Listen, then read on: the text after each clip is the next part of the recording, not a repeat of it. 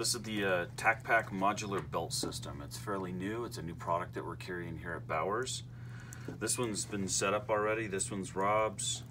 As you can see, it's running HSGI tacos, uh, Blue Force gear dump pouch, a Blue Force gear, uh, IFAK and tourniquet carrier, a G-code belt carrier. We've also used Safariland products on this. Um, it's set up essentially to use MOLLE. So if you look at the side of this, what you're doing is you're putting a single MOLLE into the center groove here, and then the MOLLE attachment system is grabbing the two outer pieces. So on the inside of the belt, once it's attached, you can see that all of the MOLLE strips are holding everything very well strong in place. Not moving around at all, not coming off. Same thing with the Hypalon, holds just fine.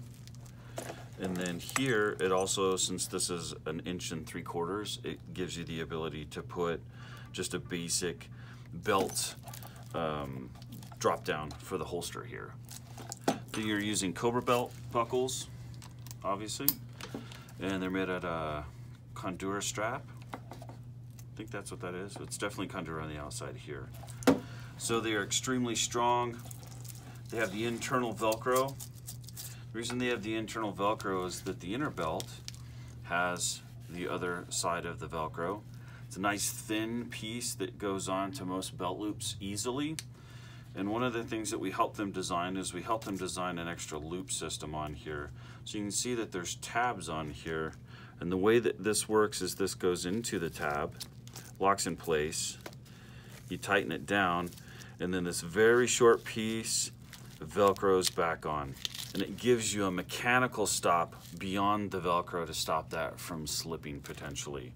The reason that we use a small piece of, of strap here is because this is essentially dead zone when it comes to the Velcro and we wanted as little, as little dead zone as possible for the Velcro to adhere and control that weight to the maximum capability.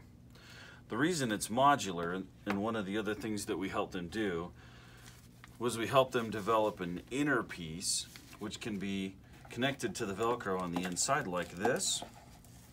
And now you can wear it without the inner belt on the outside if you have a jacket or something like that and you want to tighten it down and you don't want the belt to slip.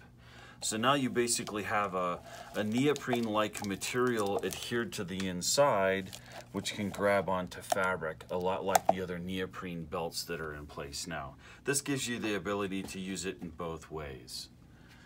It comes in flat dark earth, it comes in black, and it also comes in multicam.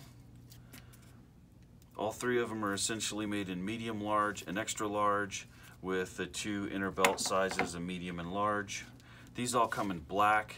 Since they're an inner belt, it's not as big a deal if they're just all black. We could probably get one made in FDE, special request, but um, I don't see a whole lot of need for that at this point. We haven't had anybody ask.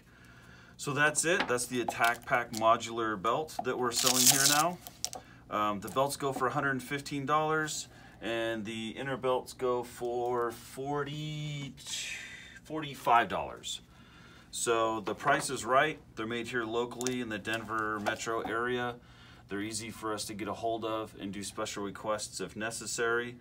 But so far, the system that we've helped them set up has been 100%. We haven't had a single problem with any of them.